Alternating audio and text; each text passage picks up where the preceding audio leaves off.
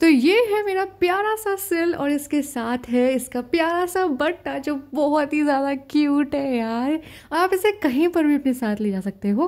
पर हाँ अगर आपको बहुत ज़्यादा गुस्सा आता हो ना तो यार ये ना, ये किसी और पर्पज़ के लिए मत यूज़ कर लेना। तो इस पर मैं बनाने जा रही हूँ मेरी दादी वाला स्पेशल मसाला जो अक्सर हम ना कच्चे आम के साथ खाया करते थे। हाँ नानी वाला भी है। नानी का नाम नहीं लिया तो नानी गुस्सा हो जाएँगी।